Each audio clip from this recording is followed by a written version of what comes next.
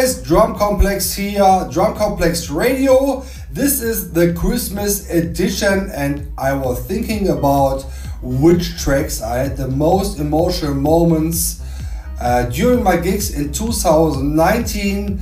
Uh, that show had, could be easily more than two hours longer because there were so many, but these ones I recorded here in my set stayed in my heart so much.